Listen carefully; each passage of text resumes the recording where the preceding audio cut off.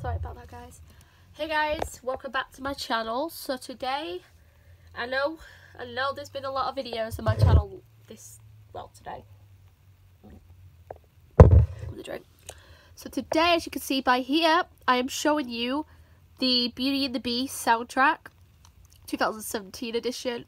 What the heck was that? I've already got the original soundtrack but I needed the live action. I just needed it, you guys. I just literally needed it. So it says Beauty and the Beast, music by Alan Menken, lyrics by Howard Ashman and Tim Rice, um, featuring Emma Watson, Dan Stevens, Luke Evans, Kevin Kline, and Josh Gad. Got Emma Watson, or Belle, and then Dan Stevens, aka The Beast. The Beast was well CGI'd. He would have freaked me out as a kid. If this movie came out when I was little, I'm pretty sure I would have been terrified of this movie. Because it looks so terrifying. It does. It actually does look terrifying in this one. But in the original, he just looks gorgeous. Let me just get the DVD. Oh, breaking anything. Here he is in the um, DVD. He looks so adorable. He looks like a dog. He, ac he actually does look like a cute little dog. Um, and I've just wrapped everything up apparently. what was that? This one he looks terrifying. Um, yeah, good job this didn't come out when I was little. Otherwise, I would have hated this movie like from all my heart. Just saying. Beauty and the Beast. And it has. Oh my god! Look at Emma Watson's dress. I want that dress. I literally want that dress. Give it to me. Give it to me. Literally. So all the songs include Overture, music title, um, prologue, part one, aria, Original Prologue 2, Belle, How Does Moment Last Forever, Music Box, Music Box, Belle Reprise, um, Gaston, Be Our Guest. Wait, where's Gaston Reprise? Anyway, Be Our Guest, Day, Days in the Sun, Something's There, How Does a Moment Last Forever, Beauty and the Beast, Evermore, The Mob Song, Beauty and the Beast, Final, How Does a Moment Last Forever, performed by Celine Dion, Beauty and the Beast, performed by Ariana Grande, and John Legend and Evermore performed by Josh Groban. Um, I don't know if you feel the same about this, but you know Human Again, that was deleted from the original.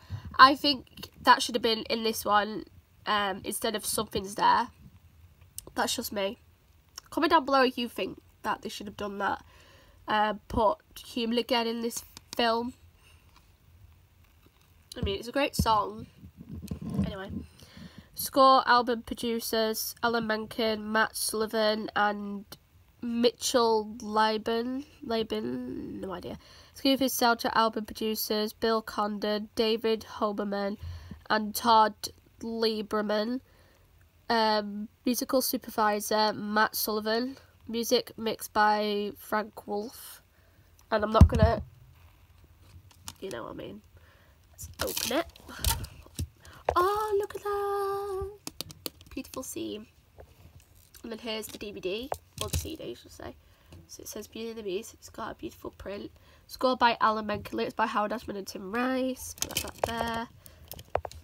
Let's look in the book. I just feel like ordering even more Disney soundtracks just so I can like review them on my channel. Um, here we go. So we have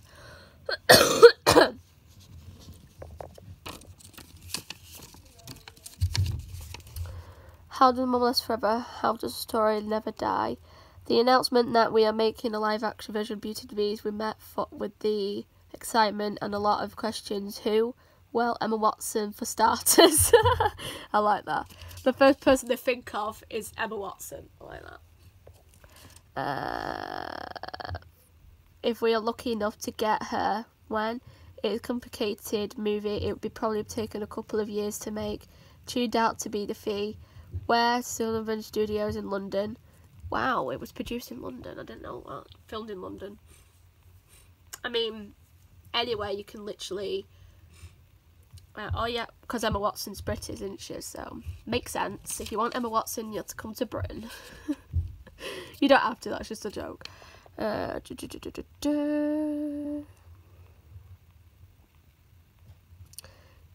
Bill Condon, the director. It's very small print. Alan Menken, Tim Rice. Um, It's very small print, so I'm not gonna try and waste your time. Oh, look, there's Belle. Over to Aria. Belle. There goes the bacon She's so pretty, Emma Watson. She was the perfect um, choice for Belle. Um, oh, Belle and her father.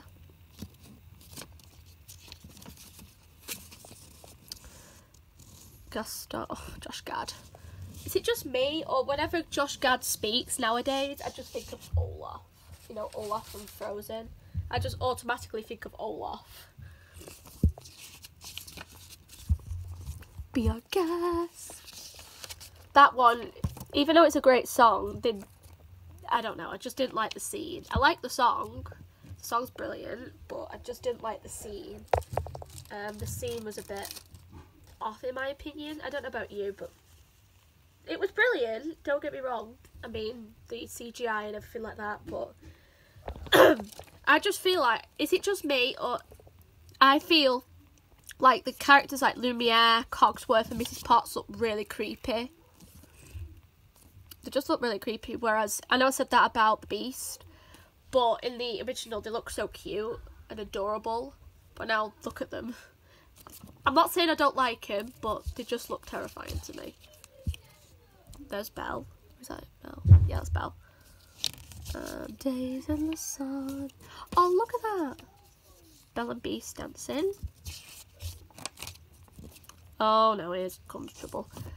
The mob song. Oh, look at the Beast. Look at him.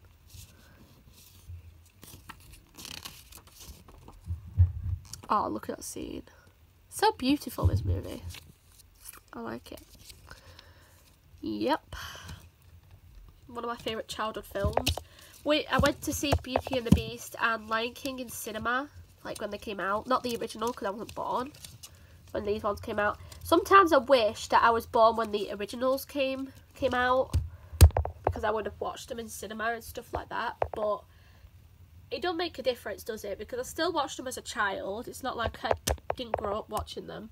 Um, but I was I don't know about you guys, but when the um, when Beauty and the Beast was in cinema and I went to see it beforehand, I was thinking they better not ruin Beauty and the Beast for me. Same with Lion King, because I watched those movies constantly as a kid. I know there's other ones like The Jungle Book that's come out that are okay, that are brilliant as well. There's some that are really weird, like for the live actions, for the remakes.